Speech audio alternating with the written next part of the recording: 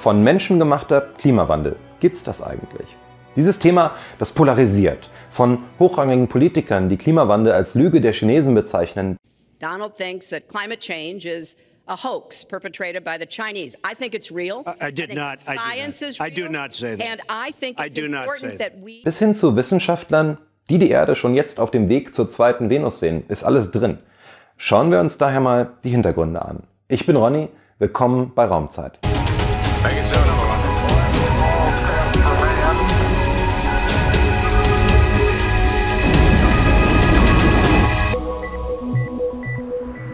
Finden wir erstmal heraus, was Klima eigentlich ist. Das hinter mir nämlich nicht. Und das auch nicht. Bei all diesen Beobachtungen wird von Wetter gesprochen. Wetter, das wird in der Erdkunde als der Zustand der Atmosphäre an einem bestimmten Ort und zu einem bestimmten Zeitpunkt beschrieben. Klima hingegen ist das hier. Sammlungen von Messungen über Zeiträume von mindestens 30 Jahren, welche uns langfristige Durchschnittswerte für Daten wie Niederschlag oder Temperatur liefern. Solche Daten, die kann man kleinräumig betrachten, dann sprechen wir von Mikroklima. Oder über größere Gebiete wie etwa den Mittelmeerraum. Das wäre ein Beispiel für das Mesoklima.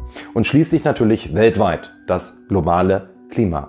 Und genau das interessiert uns heute. Bevor wir aber über den Einfluss des Menschen auf das Klima, den sogenannten anthropogenen Klimawandel sprechen, müssen wir natürliche Einflussfaktoren betrachten, welche seit Jahrmillionen das Klima des Planeten bestimmen und periodisch verändern. Besonders relevant sind dabei vier Faktoren. Die Sonneneinstrahlung, die Menge von Treibhausgasen in der Atmosphäre, die Plattentektonik und schließlich der Vulkanismus. Werfen wir einen Blick auf Klimafaktor Nummer 1, die Sonne.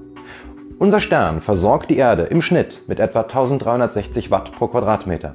Aufgrund verschiedenster Faktoren allerdings, allen voran die Reflektivität unseres Planeten, ähm, der sogenannte Albedo, und dem Einstrahlwinkel, ist dieser Wert an der Erdoberfläche erheblich geringer. So schwankt etwa die Einstrahlung hier in Deutschland zwischen 250 Watt im Winter und 800 Watt pro Quadratmeter im Sommer, und zwar jeweils an sonnigen Tagen. Die Sonneneinstrahlung ist auch langfristig sehr stabil. Es ist zwar richtig, dass die Strahlungsintensität der Sonne im Laufe ihrer Lebenszeit zunimmt. Vor 4 Milliarden Jahren zum Beispiel schien sie etwa nur mit 70 Prozent ihrer aktuellen Leistung.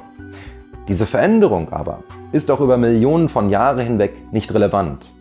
Ebenso spielen die periodischen Veränderungen der Sonnenoberfläche die sich in zyklischen Auftreten von Sonnenflecken zeigen, kaum eine Rolle. Veränderungen in der Strahlungsintensität der Sonne belaufen sich auf maximal 0,1 Prozent, sodass man hier sogar von der Solarkonstante spricht. Interessanter wird es, wenn wir uns das Zusammenwirken von Erde und Sonne ansehen. Einige Parameter, die für unser Klima relevant sind, unterliegen nämlich regelmäßigen Schwankungen. So ändert sich etwa zyklisch die Neigung der Erdachse, die Präzession der Erdachse sowie die Gestalt der Bahn der Erde um die Sonne.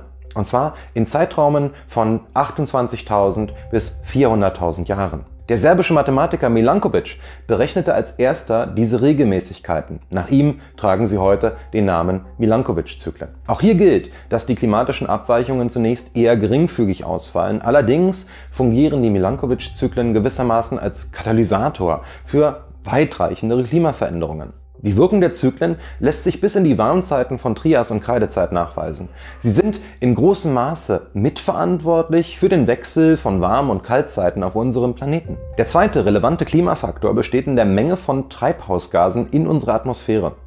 Etwas mehr als 20 wirksame Treibhausgase befinden sich hier. Die Hauptwirkung allerdings geht von Wasserdampf, Kohlendioxid und Methan aus. Treibhausgase heißen so, weil sie infrarot strahlungsaktiv sind. Das heißt genauer, dass sie thermische Strahlung der Sonne absorbieren und später wieder abgeben können. Wärmestrahlung, die also eigentlich vom Planeten wegreflektiert würde, würde von Treibhausgasen gespeichert und erneut emittiert. Das ist an sich kein Problem. Ganz im Gegenteil. Treibhausgase sind absolut notwendig für die Existenz des Lebens, wie wir es kennen.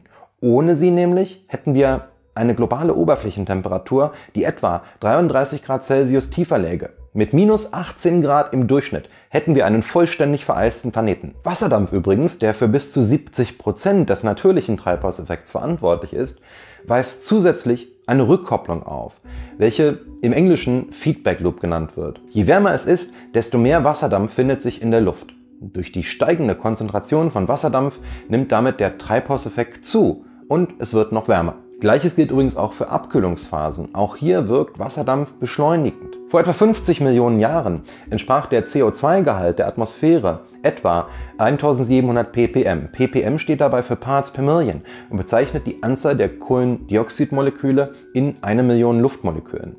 Bei 1700 ppm waren vor 50 Millionen Jahren weder Antarktis noch Arktis vereist. Noch weiter in der Vergangenheit, an der Grenze zwischen Perm und Trias, gab es eine Supertreibhausphase mit bis zu 3000 ppm. Aktuell übrigens verzeichnen wir etwa 400 ppm CO2 in der Atmosphäre, ein scheinbar geringer Wert. Gleichzeitig aber der höchste seit knapp einer Million Jahren. Dramatisch fällt dabei vor allem die aktuelle Steigerungsrate auf. Sowohl der Anteil von Kohlendioxid als auch der von Methan hat sich seit Beginn der industriellen Revolution nahezu verdoppelt. Klimafaktor Nummer 3 ist die Plattentektonik. Obwohl dies zunächst fragende Blicke verursachen mag, handelt es sich hierbei um einen ganz wesentlichen Motor für Klimawandel. Durch Prozesse wie Gebirgsbildung, Vulkanismus, Verschiebung von ozeanischen Platten unter kontinentale Platten, das nennt man Subduktion, sowie durch Kontinentaldrift selber werden erhebliche Änderungen an der atmosphärischen Konzentration von Treibhausgasen verursacht. Und das gilt besonders, wenn man auf geologische Zeiträume von Millionen von Jahren blickt. Vulkane kann man hierbei noch als eigenen und damit vierten Klimafaktor ausklammern, da sie im Gegensatz zur Plattentektonik unmittelbare und teils deutliche Effekte haben können. Zum einen tragen sie zu einer längerfristigen Erwärmung bei. Dies geschieht durch reichen CO2-Ausstoß während der Eruptionen. Im Schnitt reichern globale Vulkanausbrüche die Atmosphäre jährlich um bis zu 350 Millionen Tonnen Kohlendioxid an. Anthropogene Emissionen, also vom Menschen erzeugter CO2-Ausstoß, liegt allerdings mit etwa 36 Milliarden Tonnen pro Jahr um den Faktor 100 darüber. Vulkane sind auf der anderen Seite insbesondere durch ihre kurzfristige abkühlende Wirkung relevant. Die großen Mengen an Asche und Gasen wie Schwefeldioxid gelangen bis in die Stratosphäre 50 Kilometer Höhe und wirken dort als Aerosole reflektierend und streuend auf die Sonneneinstrahlung, was global spürbare Abkühlung bedeuten kann. In solchen Fällen spricht man von vulkanischen Wintern. Nach dem Ausbruch des Vulkans äh, Tambora etwa erlebte die Welt im Jahre 1816 derart kühle Temperaturen, dass man weltweit vom Jahr ohne Sommer sprach. Fassen wir mal zusammen. Der entscheidende Faktor für unser Klima ist und bleibt die Sonneneinstrahlung.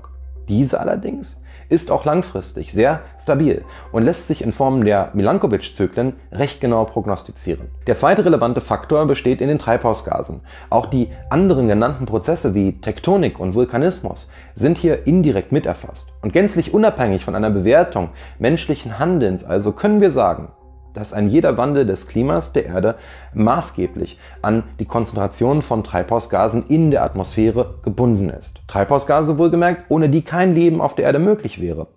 Ohne die wir nichts wären als ein gefrorener Ball, der durch den Kosmos driftet. Treibhausgase aber eben auch, die aktuell besorgniserregend und in einem erdgeschichtlich einmaligen Tempo steigen und so vielleicht eine unkontrollierbare Erwärmung des Planeten auslösen könnten. Wird dieser Anstieg nachweislich von uns verursacht? Was könnten seine Konsequenzen sein? Und Antworten auf diese Fragen, die gibt es dann in der nächsten Episode zum Thema Klimawandel. Und wenn euch unser Video gefallen hat, dann freuen wir uns, wenn ihr uns eure Meinung dazu schreibt, es mit euren Freunden teilt und es vielleicht sogar auf Patreon unterstützt. So wie unser galaktischer Overlord Rico Wittke. Wir sagen wie immer, danke fürs Zuschauen und in diesem Sinne 42.